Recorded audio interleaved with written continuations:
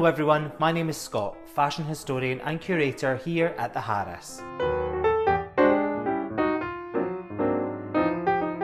In February 2023, the Harris acquired two significant pieces for its fashion and textile collection a yellow dress and bra worn by Claire, the alter ego of one of Britain's most celebrated contemporary artists, Grayson Perry.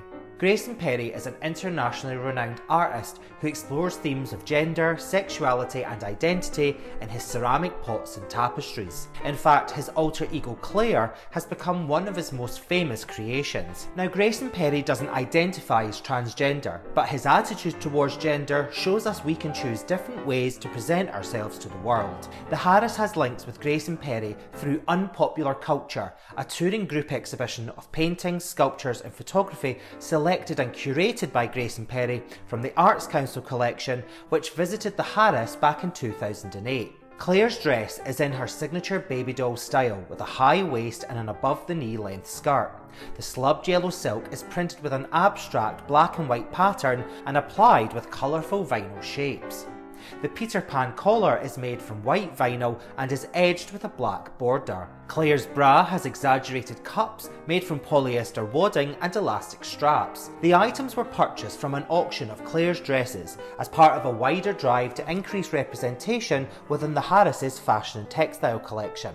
Grayson Perry has designed many of Claire's dresses himself. However, this dress was designed by a student at Central St Martin's, a prestigious art school in London. It was designed as part of a collaborative project which started in 2005 between Grayson Perry and the second year BA Fashion Print students. Grayson briefs the students on how he wants Claire to look and feel from a comfort and practicality point of view. He then visits each week to track their progress. The project usually lasts around six weeks, and at the end, Grayson tries on everything and awards students with a gold, silver, and bronze Claire award. He also purchases many of the looks too. Now, most excitingly, our dress not only shows signs of wear, there are also makeup stains, possibly lipstick or blusher, on areas of the skirt. These are definite signs that Claire wore the dress and strengthens its provenance and increasing its cultural significance. More research is currently being done and we have reached out to both Central St Martin's and Grayson Perry to find out more about these special pieces. I was attracted to this dress because of its contemporary connection with two other very famous yellow dresses already in the Harris collection. I am of course referring to Pauline's yellow dress and our Horrocks Fashions Paolozzi cocktail dress. Herbert James Gunn's Pauline in the Yellow Dress was originally exhibited at the Royal Academy in 1944 and subsequently purchased by the Harris. When the painting was unveiled in Preston the same year, queues of people surrounded the building to catch a glimpse of what was hailed as the Mona Lisa of 1944. Pauline was Gunn's partner and muse, and whilst working at Elizabeth Arden, she learnt how to create glamorous and fashionable looks on a budget. This would explain one of the most striking features of this painting, Pauline's vibrant full length yellow dress. Trimmed with black velvet, the cascading yellow fabric spills out of the foreground of the painting, a technique used by the artist to make the connection between the viewer and the muse more intimate. The dress itself caused much controversy, and its luxurious use of material, particularly in the full skirt and sleeves, caused a stir at a time when fabric was rationed because of World War II. The dress was in fact repurposed from an earlier 1930s dress, and so fitted with Pauline's love of dressing on a budget and with the wartime make do and mend mentality. Pauline's dress was presented as a gift to the Harris in 2006 by the Gunn family after it was discovered by them in their attic. Made from printed cotton in a yellow, black and white abstract design, our other yellow dress was made by Preston's own Horrocks Fashions, launched in 1946. Dating from the 1950s, the fabric design of this stunning strapless dress with full skirt was taken from a painting by Eduardo Paolozzi, an influential artist in the post-war era who worked as a painter, sculptor, printmaker and designer. The painting featured in an exhibition called Painting into Textiles, held in 1953 at the Institute of Contemporary Art in London.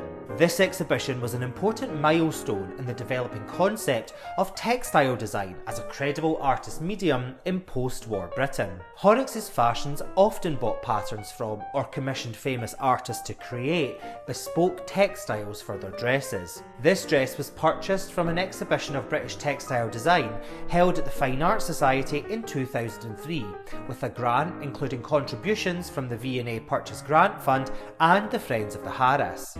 The most obvious thing that connects all three dresses is the colour yellow. I was especially drawn to the colour of Claire's yellow dress because of its positive connotations and the role the colour yellow plays today in expressing gender identity. Yellow captures our attention more than any other colour. It is associated with happiness, optimism, enlightenment, creativity, and sunshine, but it also has a darker side and can be confrontational and deceitful. Yellow is also the colour most often associated with deities in ancient Egyptian culture. Think of the golden glow of the Harris's Egyptian balcony.